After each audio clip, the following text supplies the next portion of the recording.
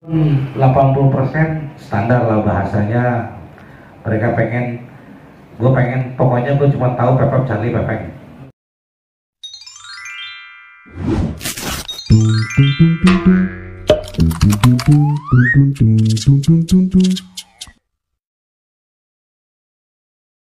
Halo ketemu lagi di Andy Marwan Channel. Kali ini kita mau ke Sama siapa tuh ada Dara tuh di belakang Sama Kang Fadil ya kan?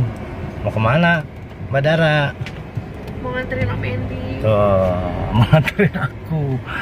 Kita sekarang di Jakarta tuh sama Dara. Di belakang ada dua mobil Sama sisi lain Sisi lain. Mau ngapain kita? Kita mau launching band gitu. Oke Ikutin terus channel Andy Marwan udah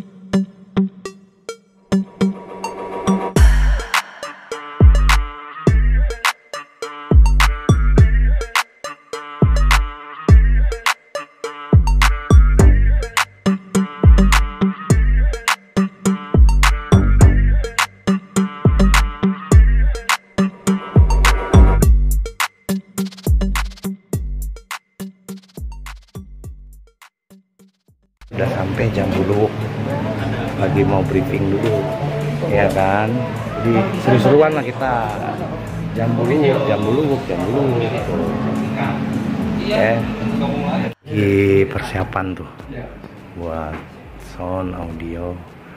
Nih kita di sini meetingnya nanti Tuh, keren lah. Launching sisi lain tuh Di berdua Sandy udah udah soundcheck lah ya? Betul. Soundcheck. Untuk mancing Ilsi. gitu mudah-mudahan lancar semua medianya full Amin. ya kan jadi tonton terus yang di Marlon Channel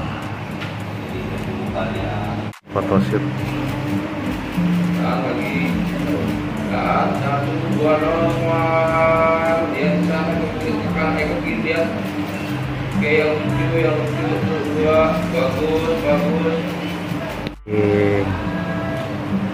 syuting syuting. Repot ya. Awas sen? Sambut sen. Sana sen. Sen. Tuh itu media foto juga ada di Jakarta tuh awas. Lihat ki lihat ki awas hati-hati pinggir. Mulai acaranya jam 5 PM jadi saya duluan. Oke? Kita masuk dulu. Tuh ruangannya begini. Nyes! Waduh. Oke, kita nanti duduk di sini. Wow. Oh, jadi anak baru nih bos. saya di sini ada satu eh, saudara lah, saudara kita jauh-jauh datang dari Lampung cuma mau lihat eh, launching ini. Coba siapa tuh? Tuh ada Vera hai sama suaminya. Naik apa ke sini?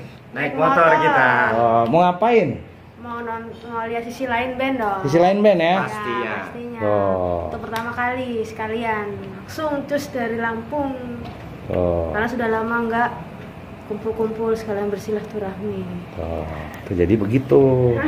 ya nggak mau ngikutin terus yang lain di Marwan. Edun udah nyampe sini semua.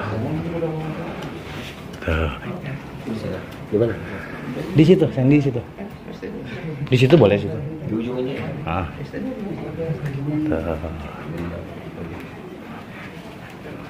Tuh. Oke kan, masih nunggu lagi. Assalamualaikum warahmatullahi wabarakatuh. Waalaikumsalam. Selamat sore teman-teman semua. Terima kasih sudah menyempatkan diri, menyempatkan waktunya untuk hadir ke media gathering atau intimate with media bersama band sisi lain. nah, eh, untuk mempersingkat waktu, kita akan membagi eh, sesi wawancara ini menjadi dua sesi. Eh, sambil menunggu rekan-rekan yang masih kena macet di jalan atau masih on the way gitu ya. Untuk terima kasih sebelumnya untuk Bang Revi dari Kumpus.com terima kasih yang udah datang. Bang Iksan makasih udah datang ya Bang Iksan. Bang Budi makasih ya. Bang Indra dari nah eh, jadi kita rencananya eh, per hari ini nih rekan-rekan media adalah eh, orang yang pertama menyaksikan secara langsung eh, pemutaran video klip musik video dari eh, single single pertama band sisi lain. Yang judulnya adalah Ilusi itu menghibur diri. nonton klip bareng sisi lain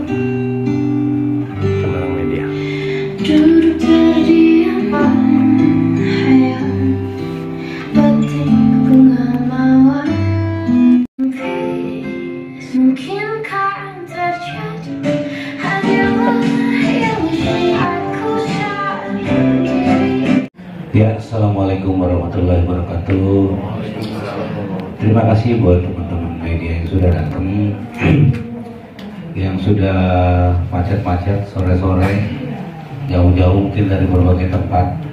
Terima kasih sudah bisa gabung bersama ST12 Manajemen untuk kita ngadain gathering bersama di hari ini tepatnya. Ya, kebetulan eh, Oh salam kenal juga dulu dari Pepe kalau bukan mereka mah. Indra ini basisnya Utopia dulu empat empat apa lima album gitu. Basisnya Utopia sekarang udah bergabung di ST12 sejak tahun 2011. Walaupun teman-teman gak banyak tahu bahwa di album ST12 album pertama pun sampai album keempat terakhir isi album Biarkan Jatuh Cinta itu yang main bassnya sebenarnya Indra semua dari album album saya saya yang tertinggal cari pacar lagi Puspa sampai album keempat. Cuma waktu itu Indra masih terikat kontrak dengan Utopia sehingga dia hanya sebagai isi bass di eh, studio rekaman saja. Jadi akhirnya tetap eh, walaupun udah sering kita ajak waktu itu aku Charlie Pepeng juga ajak. Cuman karena Indra masih di Utopia dan terikat terikat kontrak dengan Apodius sehingga akhirnya ST12 bertiga saja lah akhirnya jadi sebenarnya kalau di lingkungan musik udah gak, di industri udah udah gak asing lah Indra. Sejak 2011 atau 2012, 2012 ya. 2012 secara resmi bergabung di membernya ST12 hingga sampai sekarang dengan proyek-proyek yang lainnya juga Indra salah satu bentuk eh, kontributor besar menciptakan proyek-proyek baru, menciptakan produk-produk baru, penyanyi-penyanyi baru juga di S12 Management. Dan di tengah ini ada satu pendatang baru bernama Tania Mona Pitaloka. Tania Mona ini eh, salah satu talent baru tapi cukup membuat aku kaget terutama yang aku udah 20 tahun di industri musik. Tania sekarang berumur 19 tahun. Eh, kemarin tamat SMA kalau kuliah ke semester 1. Nah, jadi pertama aku ketemu Tania cukup membuat aku takjub ya. Eh, dia waktu rekaman itu almost uh, almost one take, jadi sekali take. Aku kasih denger lagunya, dia dengerin, langsung rekaman satu kali take jadi. Iya sebenarnya kalau yang aku lihat fenomenal di Indonesia, di Indonesia itu sebenarnya nggak terlalu, kalau aku bilang nggak 100% Fox ya. Kalau kita bicara tentang literatur sejarah musik Fox itu kan pengembangannya dari konsep belet antri kan? Itu basicnya mas. Kalau- untuk pemilihan Tania sendiri kenapa harus vokalis si cewek di sisi lainnya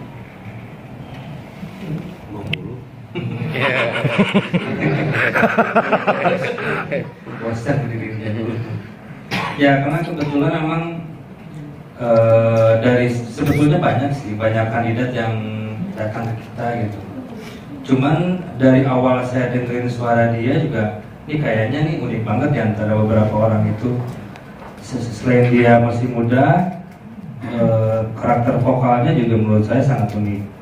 Jadi menurut kita berdua eh, karakter taniannya memang sangat cocok di sisi lain. Karena salah satunya membuat musik sisi lain itu jadi tambah kaya gitu dengan karakter vokalnya itu aja sih sebetulnya. Dan seumur ya. Ya, seumuran kita emang seumuran, beda tiga bulan ya. Sebelumnya sih udah ada tiga vokalis cewek ya. Iya, ada, udah ada. Ada, ada Tema Uki, ada. Iya, dan semuanya wanita kita karena memang pengen wanita di vok di vokalisnya pengen buat saya eh, bikin sesuatu yang beda aja dari ST12 makanya kita pilih perempuan vokalisnya gitu. Bosen batang dulu ya.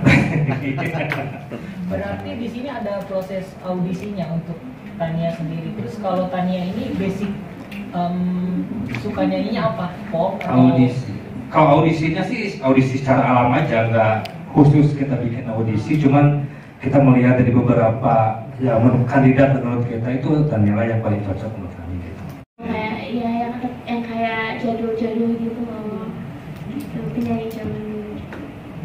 80-an. Iya. Um, sebelumnya udah pernah dengar lagu ST12 atau kena tahu dengan Mas Pepe atau seperti apa pas dihubungin sama uh, di awal ketemu. Hmm. Jadi awalnya. Lalu itu pertanyaan nomor saya kesannya bukan generasi gue banget ya. Bisa aja. Mirip nggak bisa kan. Pak, gue mau nanya, uh, lu ngefans sama dia atau gimana? Kok uh, agak-agak sekira sih mirip sih kalau gua. Nah, terus eh, pendapat lu nanti gimana kalau ada netizen bilang kok mirip-mirip Nadine ya sebenarnya nggak sedikit juga ya orang yang bilang kayak ih suaranya mirip Nadine Amiza gitu kan. Dan kalau dibilang ngefans ya aku ngefans sih sama Nadine Amiza aku suka dengerin lagu-lagunya. Kalau misalnya ada yang bilang oh kamu mirip Nadine suaranya aku juga nggak apa-apa sih itu pendapat masing-masing nggak apa-apa Untuk sesi pertama eh, saya kira cukup. Dan nanti akan berlanjut sesi kedua eh, setelah eh, sholat maghrib. Nah, nah, teman-teman silakan untuk yang mau ngopi-ngopi, makan-makan sudah bisa dimulai gitu ya. Sekian eh, saya tutup. Assalamualaikum warahmatullahi wabarakatuh. Waalaikumsalam. Makan dulu. Makan makan. Mana apa lu? Ada di sini kok. Iya. Lama nggak ketemu. Nah, ini loh, ini nih. Ini sisi lain. Indra SL namanya. Bukan Indra ST ini. Oke maghrib jadi makan dulu sama media, Bang Edo, sama Tania, makan Heri, ini no no, pokoknya rame sini, oke, Tuh. ya kan.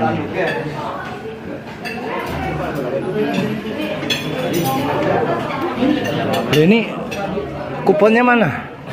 Kayak kupon. 275 pak Eh, kayak kupon. 75 Tujuh lima ya. Oke. Kita makan. kepayunan kepayunan Siap siap.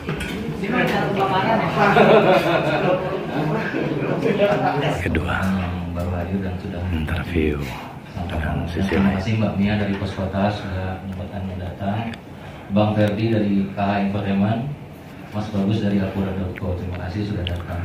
Tuh. Jadi Iya hari ini kan. kita akan melihat Tania ini kan kelihatannya bisa energik juga, kenapa nggak di direct yang?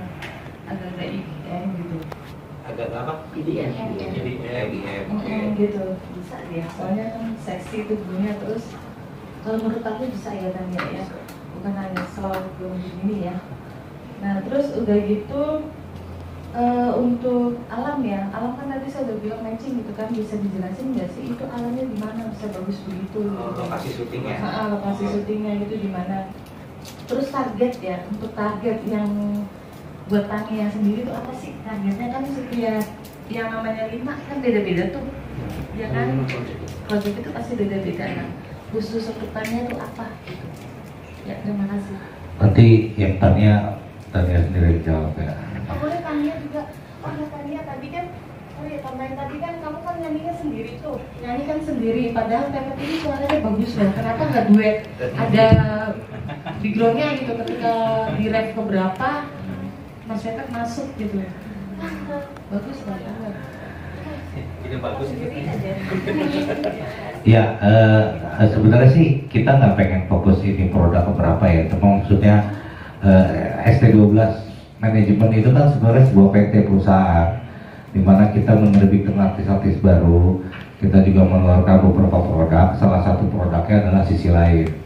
Cuman kalau yang produk-produk yang lain itu under Pepep sebagai eksekutif produser Indra sebagai produser eh, di bawah naungan ST12 manajemen artis kita kan ada empat divisi di ST12 manajemen artis fans club eh, broadcast ST12 manajemen broadcast dengan ST12 manajemen IT IT nah artinya semua tim ini bekerja produk demi produk yang kita ciptakan itu bekerja. Sampailah kita pada produk yang kelima ini adalah sisi lain. Cuma perbedaan sisi lain ini aku terjun langsung artinya apa? Aku mulai dari pencipta lagu garap musik termasuk jadi sound engineer termasuk sutradara video klip termasuk uh, Indra juga sama. Dari mulai main bass proses recording sampai Indra menjadi seorang editor video klip semua. Jadi kita kerjakan semuanya sendiri. Kalau yang produk yang lain Pak cenderung sebagai eksekutif produser saja uh, menilai lagu uh, mungkin uh, itu yang kita lakukan di S12 Management.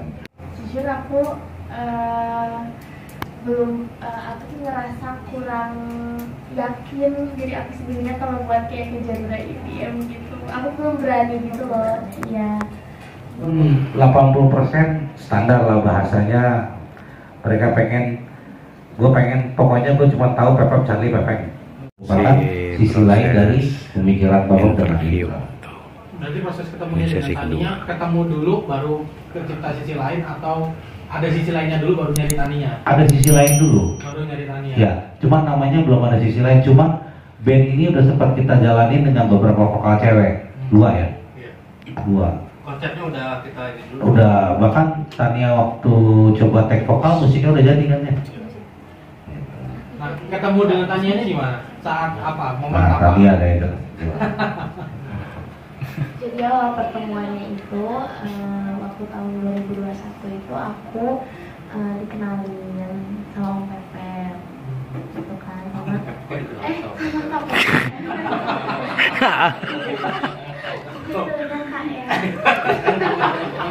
dikenalin sama Kak Pepet karena kakaknya seumuran. Iya. Karena kalau cowok aja kan manggilnya oh mata Aha harusnya. dikenalin sama eh, Kak Pepet dan Kak Indra sama seorang produser gitu dia tuh asalnya mau aku nge-cover lagu makanya kita datang ke studio 12 nah datanglah kan ke studio 12 terus Kak Pepet bilang ke aku kan daripada kamu nge-cover lagu mending kamu nyobain bikin lagu sendiri deh gitu kan. Terus saya langsung kayak oh ya bener juga kenapa nggak nyoba bikin lagu sendiri aja gitu kan. Ya udah dari situ nggak jadi cover lagunya. Tanya pulang terus langsung tuh di rumah tanya kemudian kayak "Ah, udah coba deh nulis lagu ya bener gitu kan. Tanya nulis dan jadilah itu satu lagu kan. Tanya kirim ke KPP ke Kak Indra. Kata tanya gimana nih tanya udah nyobain nulis lagu gitu. Terus dari situlah KPP dan Kak Indra memutuskan kayak udah kita membentuk sebuah band aja gitu. Eh, cuman untuk eh, lagu yang single pertama ini itu lagunya ditulis sama KPP Ya dari Hong Kong, jadi mungkin pas pasarnya kita bisa sampai Korea dan Jepang. Dan nanti rencananya ke depan juga ada beberapa lagu dari sisi lain yang kita translate untuk bahasa Korea dan Jepang juga.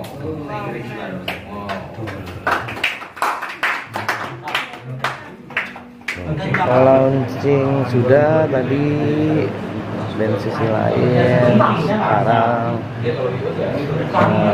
masih ngobrol-ngobrol dengan beberapa IO dan TV di sini kita langsung cus ke base camp di BNE untuk ketemu anak-anak oke? Sampai ketemu